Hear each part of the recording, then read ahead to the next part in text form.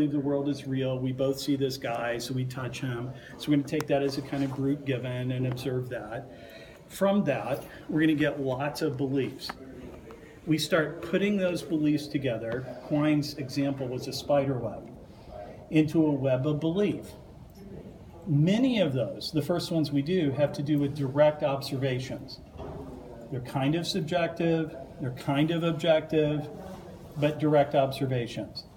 Some of them later on will be philosophical beliefs that tie the two together.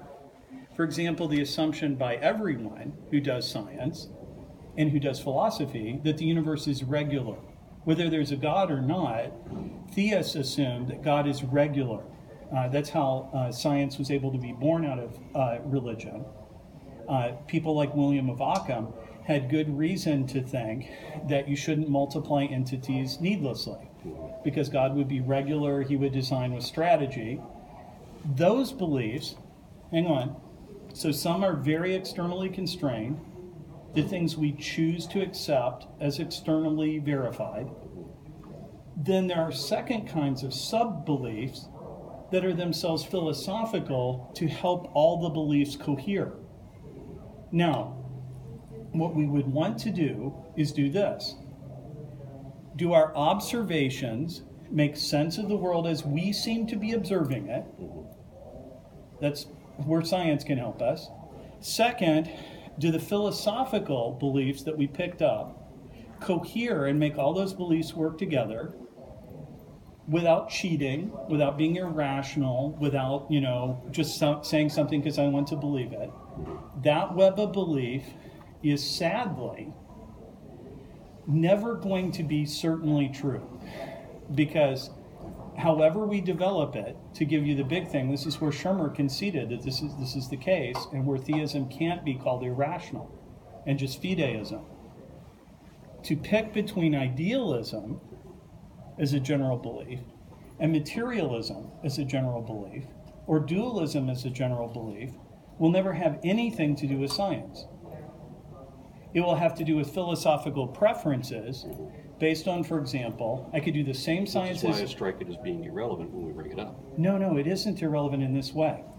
Daniel Dennett, to hold to materialism, it's not an attack on Dennett. Dennett himself says this, has to assume in the end that mind doesn't exist. That he, Daniel Dennett, doesn't exist. It's what he calls the Cartesian theater, where, you know, our brains trick us into believing we exist. There are just a series of brain states If I, if now, that's a high cost. The advantage to dualism slash theism would be I can do science. In fact, I do the exact same science as Dennett, but I don't have to assume, because I'm not a materialist, I mean, I, let's say I'm an idealist, I'm in fact not, but the simplest way to go is idealism. I can assume that Daniel Dennett exists. Now, I don't care how much science we talk about, science is never going to be able to choose between those two worlds. And here's the work one does. In one world, Daniel Dennett doesn't exist. He's a series of brain states. In another world, those same series of brain states exist, but Daniel Dennett exists.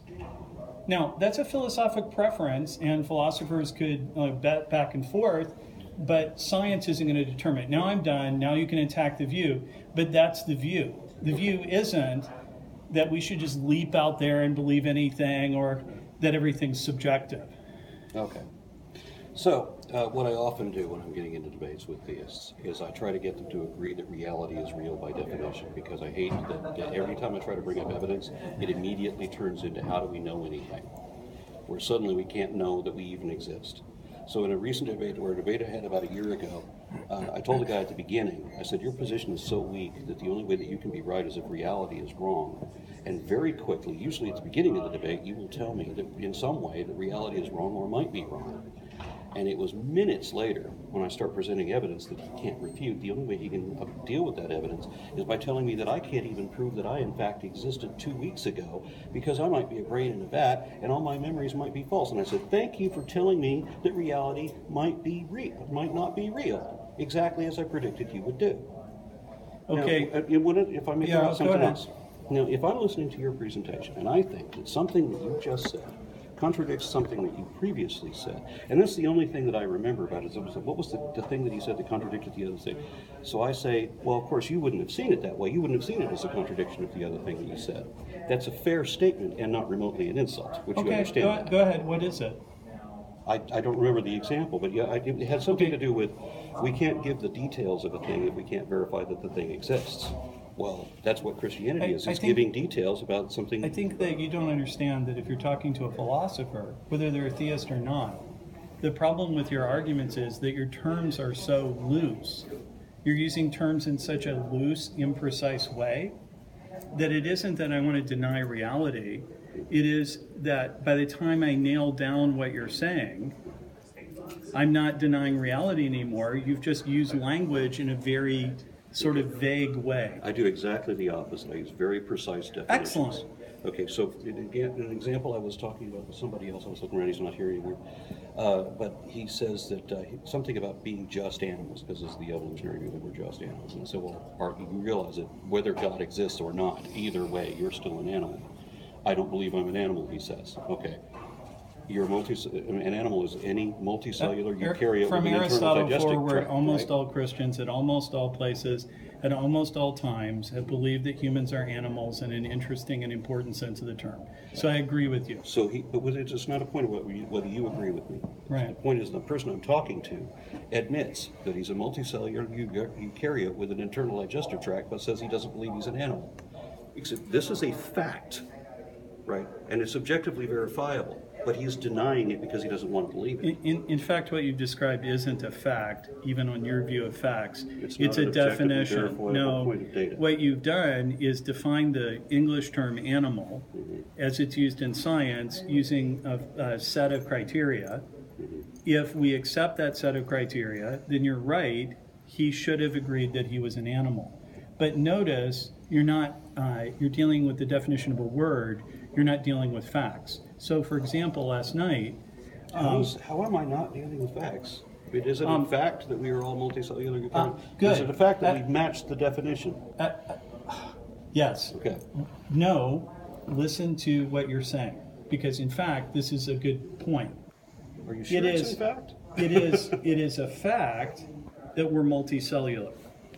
It is a choice within the English language to use the term animal to describe something that has the following factual characteristics. So it is an accident of language that we use the term animal or even glump certain characteristics together to use the phrase animal. Not everybody divides taxonomy up the same way, recall. Uh, so the definition, once we accept your definition of animal, and we should, that's the way people use the term animal in science and not being clever. Agreeing with a definition, however, is different than agreeing with a fact. If I disagreed we were multicellular, I'd be disagreeing with a fact, as you're using fact. Denying animals is the same as denying eukaryote. Um, Because a eukaryote only implies that all your cells have a nucleus, including your So blood I cells must, I must be being very unclear. All right, so let me try it this way. Let's invent the word, invented word gavagai. And we're going to say the word gavagai means attached rabbit parts. I got a better example for you. Right? I was born in mid-October. There are people that call me Libra. I meet the definition of Libra. Can I decide that I'm not a Libra because I don't want to be? Right. Um, I don't. I don't. This is why I said rules apply to me that do not apply to theists. um, no, Because I can't. I can't just say that if the definition if the definition defi- defines me, or if it describes me, that it defines me. Right? But notice that Regardless whether I believe in notice, astrology or not. notice, notice contradicting a definition is different than contradicting a fact. That's all. I'm making one simple point. You asked me. Uh, you said I want to be very clear and precise in my language. So I'm trying to be very clear and precise in my language. What the person disagreed with, they shouldn't have disagreed, uh, was not with facts, but with your definition. Okay. So I can. How do I verify that I'm using the correct definition? if you had started, and you did, I think that they were wrong to do what they did by saying, I'm going to define animal with this set of facts. Do you agree that you have all those factual characteristics? And they said yes. And they had already accepted your or the community's agreed to prior definition, then they should have logically accepted that they were an animal. Thank you. But Because he did. but notice Is notice it Chinese? English is a second. language. it's his second language, Anyway, right? But just Um, but notice, notice that if we got into a discussion of what was an animal, we're going to actually end up discussing which bundle of facts to put in the definition of animal. And so the disagreement might not be about facts, but classification systems, which scientists do all the time, right? Uh, so I have good friends who are biologists. I'm not one. I don't, you know, I do biology for a living. And they go back and forth on what kinds of classification systems would be best for uh, understanding the natural world, uh, how to subdivide the natural world. Is it useful to talk about animals as opposed to non-animals? Uh, and so they argue about that. Notice when they argue about that, they're arguing about definitions, which is an important thing to argue about. That's what we're talking about now. I, I, Not about facts. I'm the director of the Phylogeny Explorer project, E- e- excellent. It's a taxonomic website essentially. Right, The entire tree of life rendered right. as a navigable online encyclopedia. I've been there. Okay. So, uh, or I'm sorry, I knew that from reading your bio on phylogeny. I should have said it that way. Um, so great, that's a good thing. But notice when you do that, you're dealing with definition sets. And if somebody came to you and said, "Wow, I, I prefer, a, you know, a different," I, I prefer to look at the tree of life differently. I'm not even talking about disputing Darwinism or things. Uh, we'd like to run the cladograms differently. We'd like to say this is related to that. We'd like to redefine things. You wouldn't be having an argument about facts. You'd be having an important argument about how to define those facts. And why is that important? Because those definitions give us a tree of life or they give us relationships that might help us see other relationships. Now, what does that have to do with what we're discussing? My suggestion to you is this I, a lot of discussions, at least from what I'm hearing, you're using words in ways that philosophers would not use them. So it's creating confusion in your listeners because they'll say, "No, you know, I don't I don't think that's a fact." So how do you define a fact then? I would say Because again, I'm being as precise as I possibly can. I go to every definitive source I can. I see where they hold consensus, and I summarize what they're all Well, saying. let, let me ask you a question. When it comes to deciding definitions of terms like fact, um, argument, logic, terms, what what career field deals with those? I don't know the name. Uh, it's philosophy, philosophy of language. So what we would do, and what you should do, because I do this on the fly, because I give you a bad one, and then and then my uh, grad professors would yell at me. Um, go to a decent philosophy of language book, get a term for term, find out what terms mean, find out what facts mean to those people. It's not going to stop you from doing science. It is going to produce a kind of linguistic clarity that will help you win an argument where you've actually won an argument with what the person believes instead of winning an argument by winning it Do through you confusion. Use, do you use a different definition of fact than I do? Yeah, I do. What is your definition of fact? Um, it is a mind independent reality that may or may not be knowable by me. Okay, I don't see that as being significantly different than what I'm talking about. It, it, it will turn out to be. Okay, Uh, there- there's, there's so- a chevron shape on the, the moon Miranda, one of the moons of Neptune, I believe it is. And it wasn't observed until 20 years ago. Right. But clearly, this thing existed out in space, result of some undescribed event, before we knew about it. Right. Yeah, as far as we know. So we'll both call that a fact. Uh, Yeah, that's, in the a sense point of I'm data. using. In, in That's a point of data that we can also No, I- objectively I, verify. I, I'm not. I'm not. Con- I'd have to talk about data and exactly what you think data is. Okay, now if, we if, if we want No, to I- propose. can I just point out that you've gone from using the word fact to the word data, And the word fact and data aren't the same thing. Okay. Not all data would turn out to be facts. For Right. example, So- the number one. Okay. So if we want to propose that a moon we have yet to see has this shape on it, and we don't yet know that, is that a fact? That would be a proposal about, it, it's a hypothesis about what we would find. Can you say that it's a fact? No. Then we agree. Good. So clarity is awesome.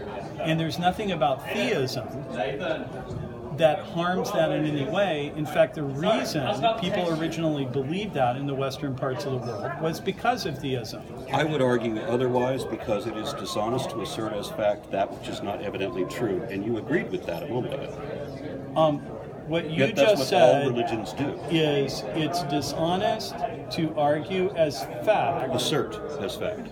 that which is not evidently true. What do you mean by evidently true? You're going to say it's okay to say that you believe X, but you can't state that X is true. Do you have a mind? yes. Good. Um, do do uh, scientists like Richard Dennett agree that you have a mind? Daniel. Okay. Daniel Dennett. I'm sorry. Uh, no, they don't in fact agree uh, on it. So it isn't self-evident that you have a mind. We're taking it as a working hypothesis.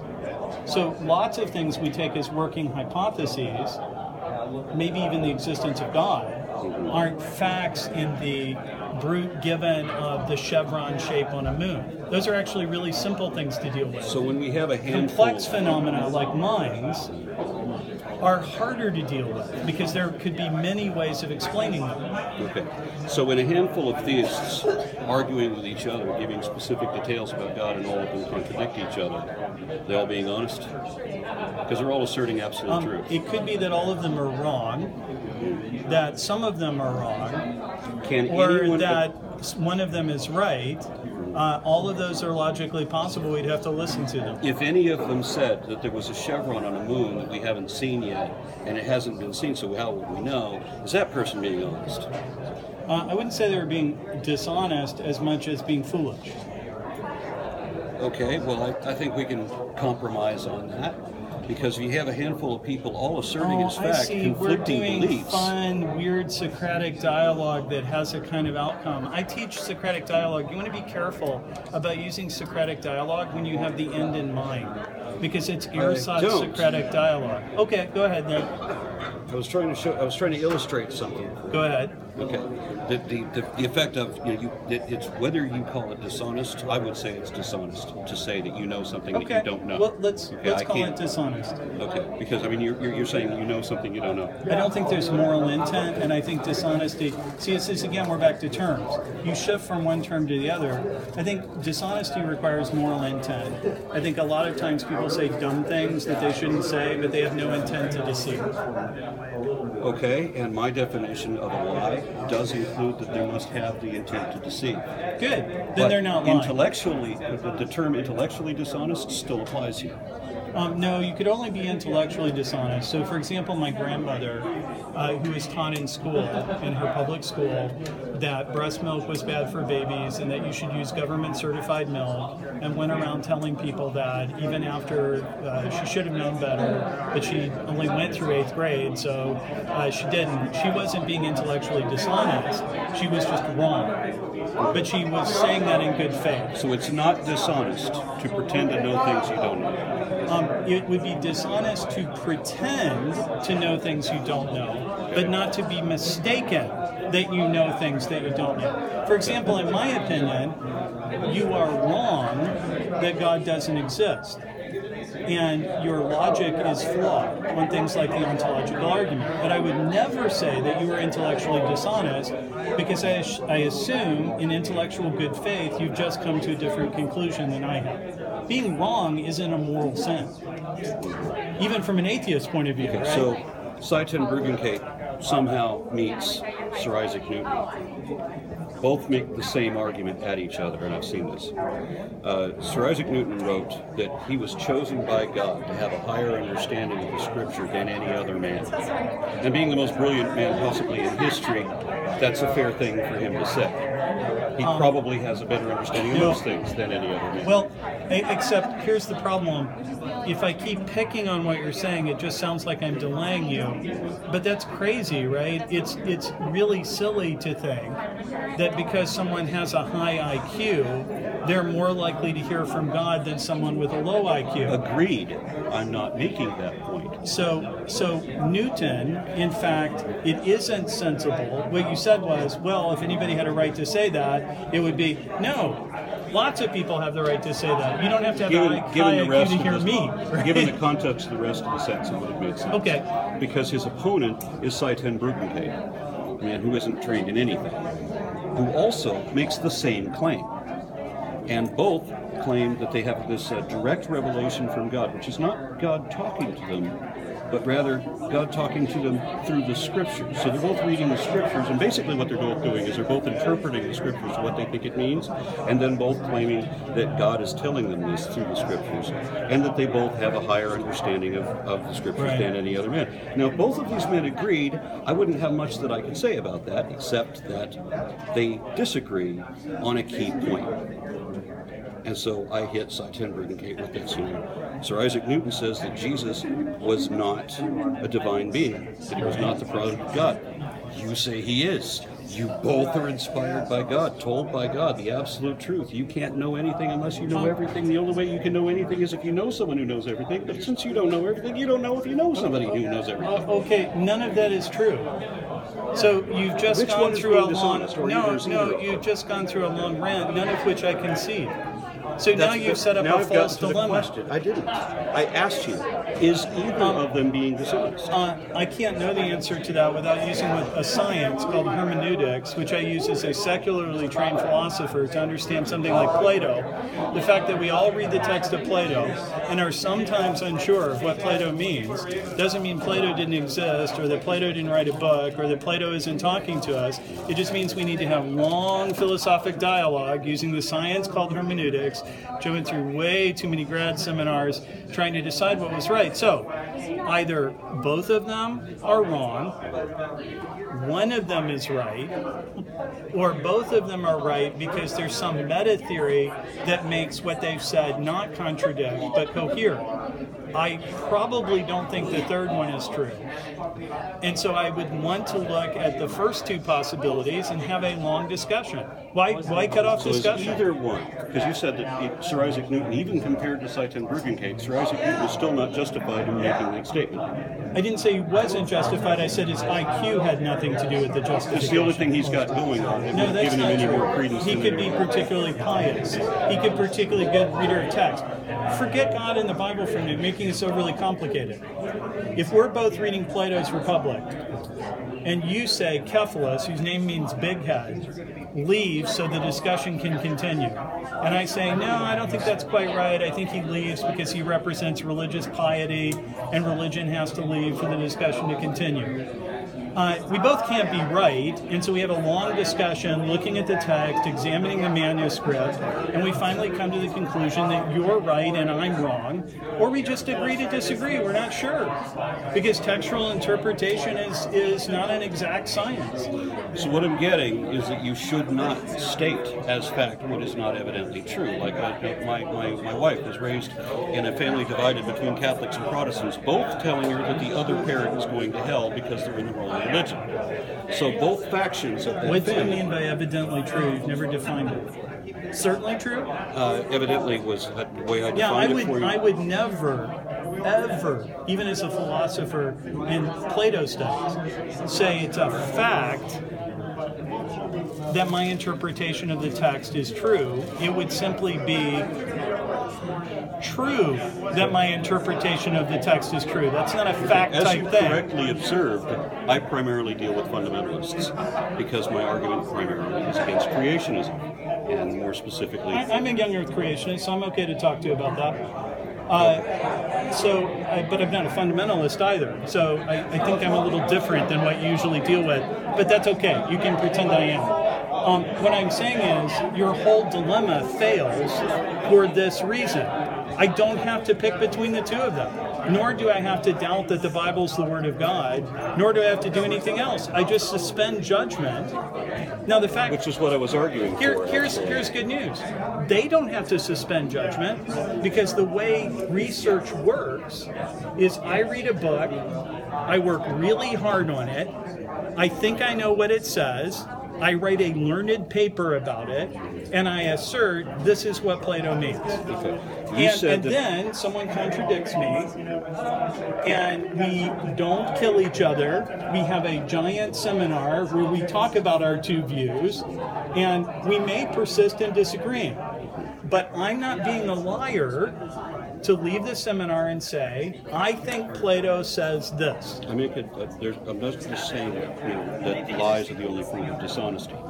That you can be dishonest with yourself and not realize that you're lying. Sure. Okay. But And- neither people in your case need to be doing that. They might be. I'd have to look at it. Okay, you also said I didn't define evidence, but I did. I said that evidence is a body of objectively verifiable facts which are in- positively indicative of or exclusively Yes, I know you concordant have that with. memorized, but we already moved But you through said the we fact that didn't- you said I objective didn't facts don't define it. exist. I did define it. Yes, And your so when I- definition is so no when I good. say now that something that, that we shouldn't assert as fact that which is not evidently true, then I'm obviously talking about things that we can't show the facts to indicate that. Yeah, lots of things are true for which there are no facts. Two plus two is four is Which- known to be true is without no without any right, but without any facts as you've defined. I'm sorry, you said you said it wasn't even empirical, which it is. Two plus two equals four is an empirical truth. Mhm. It also works with logic. No, I'm It's- sorry. You need to go get a book on philosophy of mathematics. I just got a dictionary. It said No, no. Mathematics, the number one does not exist in the physical world. So any truth of mathematics cannot be a truth of the empirical world by definition. but you can demonstrate. No, that math happens to work more or less is an amazing thing, and philosophers still wrestle with why that's true. Theists have a reason for it, everyone else takes it as a brute given. But it's not an empirically known thing. You couldn't possibly know that math was going to work through empiricism. Demonstrate. Um, no, it just works. Which means it's repeated. It's demonstrably repeatable. You seem to think that something has to be repeatable to be true. Not necessarily. Right. So good. Let's eliminate that. And We agreed that the Chevron Not everything, right? That, that's right, and that does fit your definition of fact. But not everything does. Okay, so And facts are not objective. so clearly, when I say that people should not assert as fact what is not evidently true, what I am saying is that people shouldn't make a statement that they know something that they can't give any indication that that is even true. This is In- wrong. In other words, we can't distinguish this from the illusions of delusion. No, scholarship scholarship would be impossible if that were true. In scholarship all the time, I do the best I can. I look at the world, I look at the text, I look at my experience, I make the best judgment I can. I assert that as far as I can tell, something is true. It turns out not to be true. I'm not being a liar. I'm advancing the cause of scholarship. Being wrong is okay. Hooray for being wrong.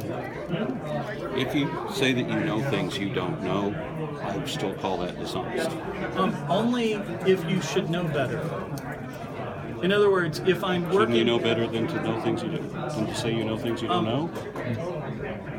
That has nothing to do with what I just said, but it's kind of clever. It would make a good Twitter handle. I may steal it from you. Um, here's what I'm saying. If I study a manuscript or I study the natural world and I make an extrapolation from the manuscript or an extrapolation from the natural world, I might be wrong. I might even be seriously wrong. But if I present my views, I have to say something like this This is what I think is true. I may even say, I know it's true. I've thought about it a long time. No, in the loose sense, not that I'm certain, but I, I this is the best I can do. You disagree with me, we have an argument. I haven't been naughty or intellectually disingenuous. I haven't broken the laws of reason. In fact, that's how reason moves forward. Throwing out an idea that you've investigated the best you can and discovering you're wrong. Let me give you an example. Aristotle talks about the nature of substance in Metaphysics Book Zeta. I spent 14 weeks trying to understand what, meta, what um, Aristotle meant by ousia in Metaphysics Book Zeta. I decided it meant stuff, matter, crude matter. Um, I presented that in a paper in a grad program, doing the best I can. Man, it turned out that I became persuaded by someone else in my grad program that that was entirely wrong. They didn't say, Wow, Reynolds, you should have known better than that. You're being a liar, you're being disingenuous. That's the way scholarship works. In another case, I had a view about how Plato worked. My good friend Hud had a different view about Plato works. Hud's now teaching philosophy, I think, at Washington, and I'm, you know, starting a new school. We still disagree, but I don't think Hud's a liar. I just so think we disagree. we agree, and I'm not in the position you're trying to box me into. I mean, myself, I come to the, the passage in the Bible that you'll probably be able to tell me where it is better than I can. Uh, the bit about the four-legged locusts that have legs above their feet, right? I interpret that as since we know that grasshoppers, typically called locusts, don't have four legs, that maybe they're talking about bats because the Bible tends to classify things by what they do rather than what they are, which is why whales are fish and bats are birds. Bats could also be locusts because they go about on all fours as described, and that they also swarm. So this is an interpretation that could be supported by what I'm saying. Sure. I'm not saying that I know that. Sure. I, am suggesting that this might be. Well, if I know you mean you're certain, you could study it long enough and look at all the arguments where I think it's it's a useful sense of the word no to say, yeah, I think this is right. And I'm going to base my book on it. I'm going to write this. And I'm going to say you should believe it because I think it's true. I would still put that as an hypothesis if I can't verify Great. that that is. Good. We'll use that term then, hypothesis. And so uh, imagine uh, that that's what Sir Isaac Newton and his friend were doing. They were both strongly advancing hypotheses about what the text said. Which one was right? I don't know. I'd have to look at both uh, interpretations. Sir Isaac Newton and his friend. You have no, you don't know who Sir, Sir who uh, Sye Ten Bruggencate is. No, I don't know that background Now I can truly tell you that you are blessed. Good. So, but uh, so here's here's the point. Um, there's no there's no dilemma there. In other words, it's just normal scholarship. We'd sit down and look at their interpretation of text, Right. and they both could be wrong, Right. or one of them could be right. I have, So, the, I have the feeling you. I, have the feeling that since we began talking, that you've been arguing against something I wasn't saying. well, what are you saying? I don't even remember. It's been so long. Um, so far, I think what you've But, said I, but is I've been trying to find where what you're saying is relevant to where I was going.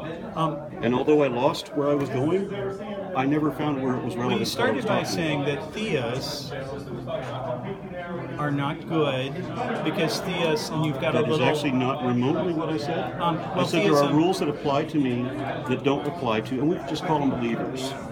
The rules apply to me that don't apply to believers. As far as I can tell, that's not true. Okay, I have to, res- you said reserve judgment when you can't be sure. Right. That's the rule that applies to me. But you can't be sure there's a God, but you're still going to say that there is. So you're going to maintain a belief even though you can't be sure of it. You said last night that we can never know whether there's a God. But there's people all over the place who say that they know that there's a God, that they talk to him, that they have a personal relationship. Yeah, you're, you're simply equivocating about the word no. Uh, I think I know that I don't think I'm equivocating. No, I think I'm stating a fact. Hang on. I think there are two useful senses of the word no. There's knowing something with what philosophers call Cartesian certainty. I know that 2 plus 2 equals 4. Once I understand that concept, I at least, and most people, find it impossible to doubt. it. It's indubitable. Most truths turn out not to be like that at all, especially interesting ones. I say I know my wife Hope loves me, but I know plenty of people who have turned out to be deceived, even though they had very little data. Like it was reasonable for them to believe their spouse loved them. They acted on it, they built their whole lives on it, and it turned out they were just wrong. But we didn't run over them to say, wow, you're intellectually dishonest, you should have had a better That's never what I said. No, no, let me finish. When I say I know there's a God, I'm saying that's the best hypothesis I have. I think there's good reason to believe it. I think there's good philosophic reason. I think I have good experiential reason. And I think I have good communitarian and cultural reasons to believe it. Could I be wrong? First, I could be wrong to be a Christian.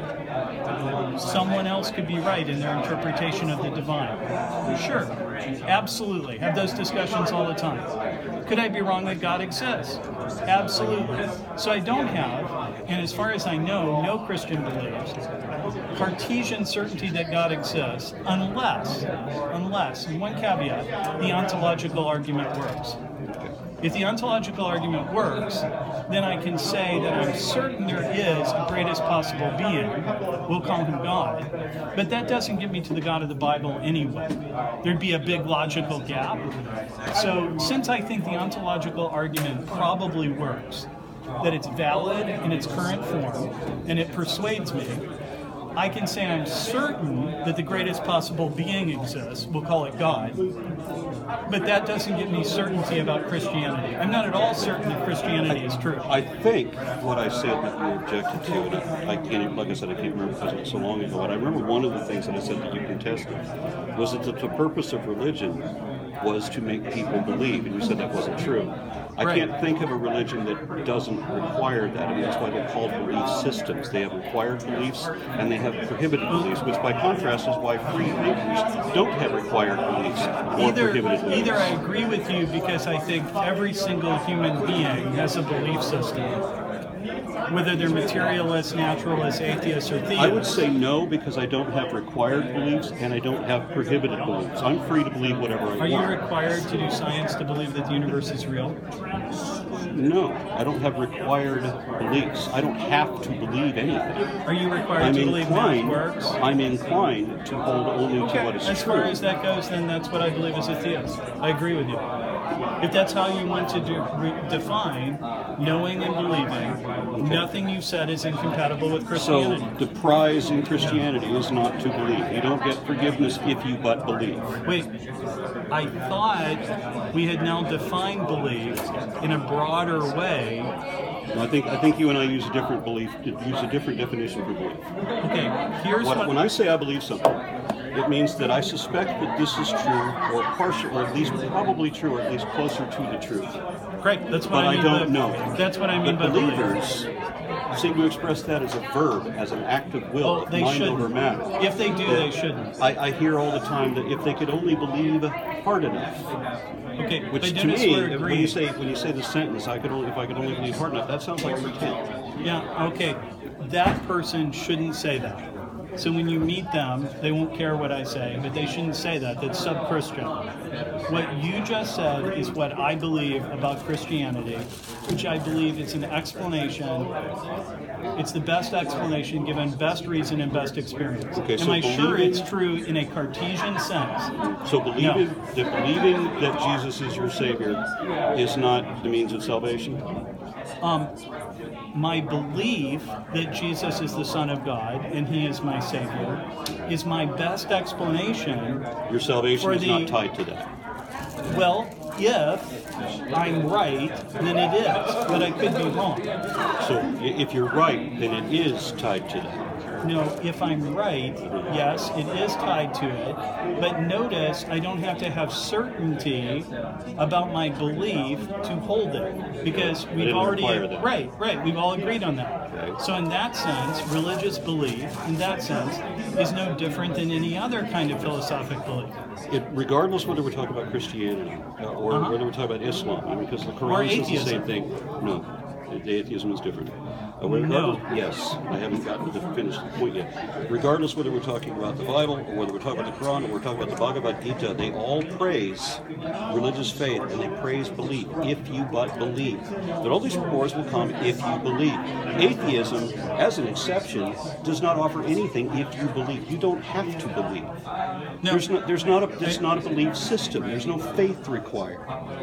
It is the it is very often, but not always. It is very Notice- often the rejection of faith. Do you act on beliefs? Yes, Do you get rewards by acting on beliefs? only when I'm correct. Right.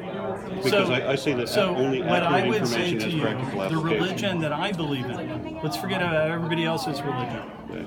gives me rewards if I act on it if I'm correct. So we're just the same. I don't think so, but I think we're going to be arguing circles No, that's not. No, we're not arguing in circles at all. I'm accepting totally your definition. I'm agreeing with that we should all live like you say atheists believe that we should live, and that we should act based on best reason and best experience, and that's what I'm calling belief. And if I'm right about Christianity, then I'll get treats. Just like if you're right that there's steak over there in the corner and you act on it, you'll get the treat of the steak. So there's nothing weird about this. Telling someone, hey, you should believe this because you'll get something good out of it. Could be true if I were an atheist. It could be true if I'm a theist. Now, that doesn't prove theism is true, but it does prove I'm not thinking differently than you are or in some kind of weird religious way. We're not arguing in circles at all. Win. Let me agree with you. I agree with you. Okay, Hooray. we will just we'll just let that be. I think But, but wait, how are we disagreeing? Because every time I try to, to, to start making a statement, you change every part of that statement until I eventually forget what the statement Okay, was. we're not doing that anymore, notice. You have said we should believe things, good atheism. We don't get rewards just for believing them. We get rewards for believing things or not believing them by following the truth. The best By evidence following the truth, which means we withhold our we, we're not, we, a belief is a conviction. So a lack of belief is a lack of conviction, right? So atheism is simply being unconvinced that a magical anthropomorphic immortal really exists. Okay, so we got a weird description of God, which seems to have come off the Twitter feed. But leaving the insult and the bad language aside, no, it's just false. I don't believe in that God. I don't believe in any magical being. So, really, No, you, you realize miracle and magic have the same definition. no, they don't. They're both the evocation of Okay, supernatural forces. go read Richard Swinburne's book on miracles. He defines miracles. He doesn't define it as magic. Uh, Very I mean, few I, I know. people realize that, yeah, the miracle and magic have the same definition. Well, very the few, evocation very, of supernatural forces. very few people realize it because, as Christians understand it, that's not true. I know that Christians don't realize it. Yeah, I get that. Um, but that they are the same. They are effectively Okay, the same so here's good news. However, I may have been confusing or naughty or done the wrong thing, we're both agreeing on exactly this. You don't have to be certain to act on a belief.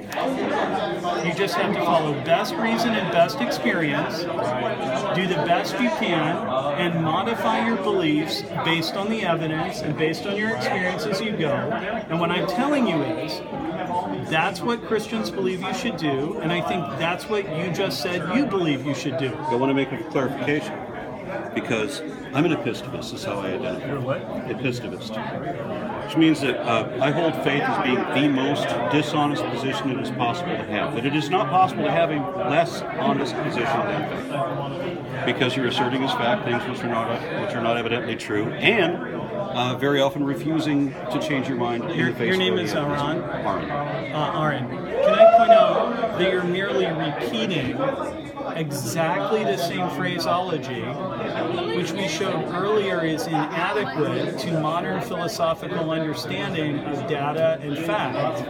And you really need to let go of false beliefs you have when they no longer are adequate to explain Right, philosophy. I'm, I'm, I'm wholly down with with uh, getting rid of any false beliefs. Right. However, however, since I do deal with many young Earth creationists who contradict you on a daily basis, they're all describing faith as, as belief as an act of will, where you you will believe, you will eat the word, as one person described it. You, you read the most ridiculous thing out of the Bible and embrace each other. and say, Isn't it wonderful that this thing is true? Making themselves believe, right?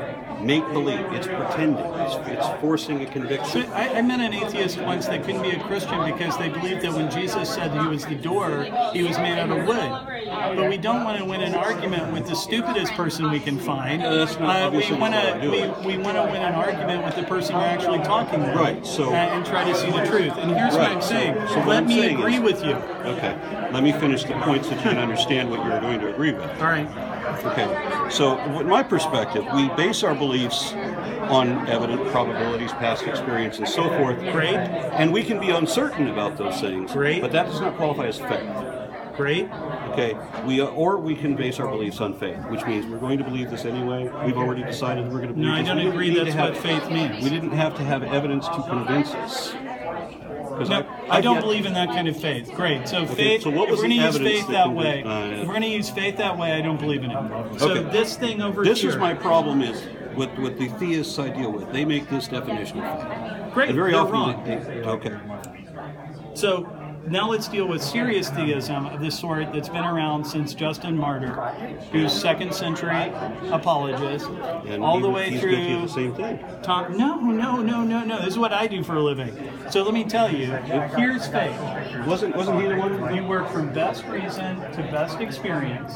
You commit yourself, is an old Napoleonic phrase, and then you see. And if it doesn't work, you start contradicting data, or it doesn't cohere, or you start saying illogical things, you change your mind. That's what you should do. That's living by faith. Why is it living by faith? Because it's not certain. So In Ken other Ham- words, it's not seen Ham clearly. saying- Ken Ham's no fan of mine. Google me under the. Uh, uh, uh, But you understand he's using the definition I give, right? Well, he, he said- he says no evidence ever, and his, his website says, and every creationist website that I'm aware of posts a statement of faith wherein they word it differently in different places, but they all admit that they will not, re- they will never consider any evidence Here- that they're here's wrong. here's good news for you. Ken Ham does not consider me a Christian. So Okay. you know, hooray! I actually consider Ken Ham a Christian uh, because uh, I agree with you when your definition of what I'm calling faith. So to talk to me in good faith, don't stick me with Ken Ham's definition of what faith is, nor So this is what I'm this is what I'm disagreeing with. That the young Earth creationist organizations, the leading ones like ICR and AIG, what they're posting in their statement of Okay, faith. I'm not responsible for what they say. Neither is the Orthodox Church. Neither is the Roman Catholic Church. Neither is the Southern So Southern you Baptist understand Convention. what I am objecting is. to. I'm objecting Sure. to the definition of faith that you find in all the dictionaries that you find in Martin Luther's So citations. you agree that theism can be reasonable No. because we can. But we're following the same rules of reason that you're following. You just disagree with us You- about you- the conclusion. you have you've asserted a conviction. Okay, you're convinced of something for which there was no evidence to indicate that. Um, in your opinion, and in my opinion, there was evidence to choose that. Look, I was in grad school. I tutored under atheists. I listened to atheism, thought about atheism really hard, had theistic professors, atheistic professors, tested my beliefs. Got to one point in my life where I didn't even want to be a Christian. I thought about not being a Christian, examined it, tried to put the world together, tried to follow the rules that I'm accepting that you described as a reasonable life, and I came to a different conclusion than you. So, as Professor Shermer said to me last night, we need to lose this adversarial language where all theists are irrationalists, believing in magic. I'm all about all- building the bridges. Okay, And, I and am. all, and so, But you got to remember where I'm coming from, right? This is the board, of, the, the uh, chairman of the board of education in this state who says some who has a is a dentist with no scientific degrees at all. Okay. Who says someone has to stand up to experts? So- Would you say that Here- that's irrational? here- here's really good news for you, which I keep ta- saying to my atheist friends. If you want me to come and testify in front of the Board of Education and argue exactly what I argued to you, which is we should follow best reason and best evidence, and we should make conclusions as, as we come up with them, and that's the way we should do a reasonable life, I'm happy to do that. And in fact, in some cases,